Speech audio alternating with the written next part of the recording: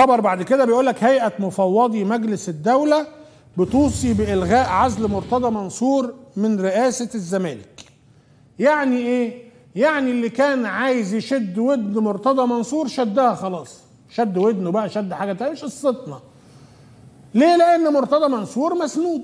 مرتضى من- منصور حبله عند حد كبير في الدولة. ليه حبل كده؟ الحبل إيه؟ مربوط كده ومرتضى أنتوا فاهمين. ما بيقولش من دماغه. هو بيطلقوا على اللي عايز يطلقوا عليه. بسك يا مرتضى يبسك مرتضى. بس ساعات مرتضى بي إيه؟ بينطلق لوحده.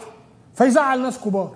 فالناس الكبار دي إيه؟ تشد ودنه. تقول له خش السجن شهر ها مش تعملش كده تاني. هنشيلك من النادي فمرتضى يرجع ورا ويفتكر إن هو شكوله عارفين لما معالي زايد قالت عليه شكولولو بقى وبتاع.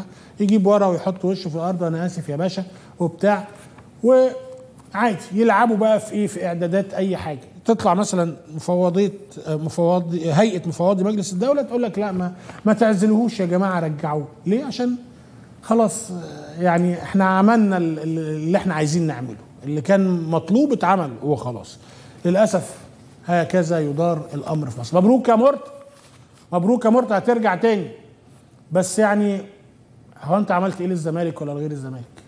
للأسف أنت كرهت الناس اللي بتنتمي للزمالك في منصب الر- الرئاسة ده منصب رئيس الزمالك. بعد حلمي زمور يا راجل وعلى الناس الكبيرة العظيمة دي في الزمالك يبقى مرتضى مرتضى منصور رئيس الزمالك. ربنا يعين الزملكاوية والله.